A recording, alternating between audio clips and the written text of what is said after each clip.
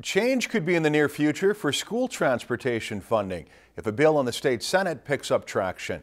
Our Josh Peterson tells us how the state legislature is working to fix the funding formula that would help some Minnesota public schools, including Bemidji, from having massive budget deficits. It's a service that is relied on across the state, transportation to and from school.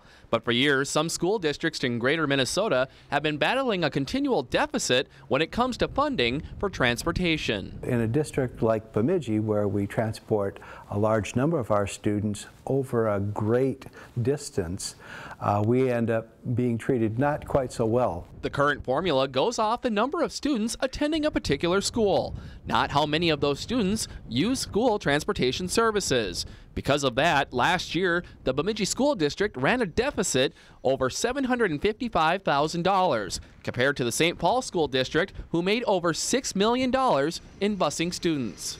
The revenue side reimburses school districts based on students who attend school and maybe don't even ride the bus. This map illustrates in gold the size of the 825 square mile Bemidji School District compared to the entire Twin Cities Metro. With a school district as big as Bemidji, it can be extremely expensive when it comes to transportation.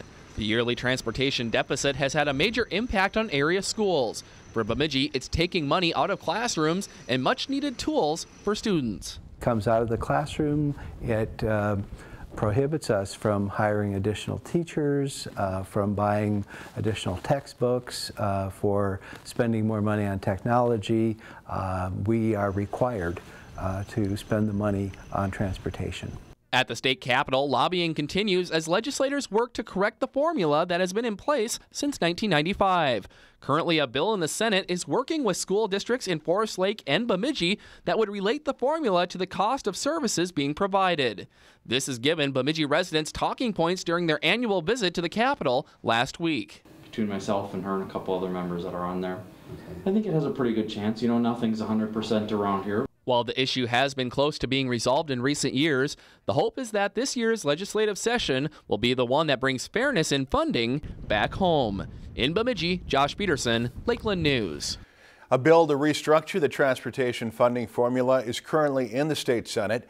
According to legislators, Senate File 1026 has bipartisan support and is expected to get a, a floor vote. If you've enjoyed this segment of Lakeland News, please consider making a tax-deductible contribution to Lakeland Public Television.